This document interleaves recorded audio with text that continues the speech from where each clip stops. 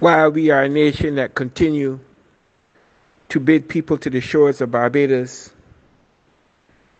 for periods of pleasantry and enjoyment, countless young Barbadian men, whether self inflicted or otherwise, suffer the ultimate cost, pay the ultimate price. And but for this forum, but for this blog written by Sheri Veronica, would be no named individuals, casualties caught up in a war. A war that is, for the most part, preventable. But casualties, nonetheless, whose voices would never have been heard. I pray for my beloved. I pray, pray for the place where the umbilical cord that came from my mother to feed me is buried. I ask those who call themselves Christians, who will find themselves in houses of worship, to not forget the least of these. We are more invidious in our propensity to deal with each other than at any time in Barbados' history, whether colonial, just after colonial, slavery.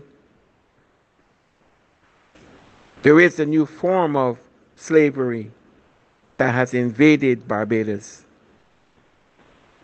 No insecticide, no disinfectant can wash that away.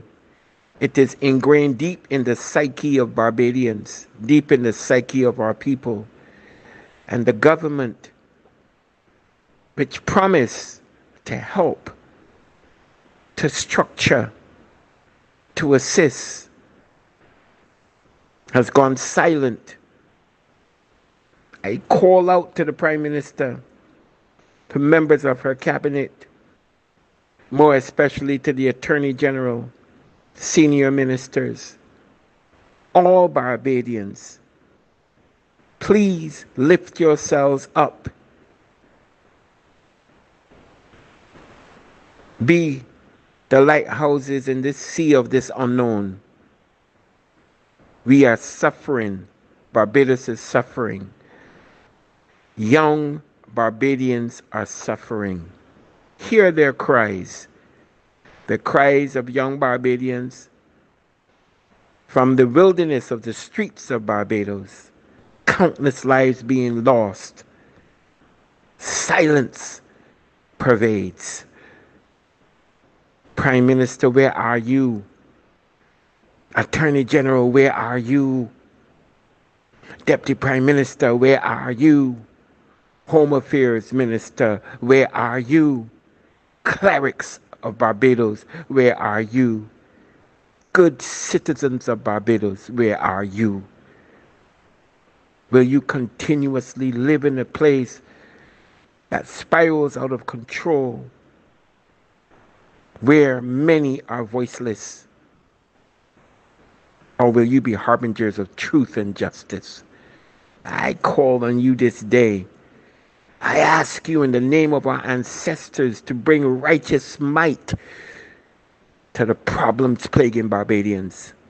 I beg you, a voice foreign, expatriated from my beloved, to hear my plea today. Thank you so very much. Help me spread the word about Naked Departure via social media. Subscribe and share to show support and love for our channels.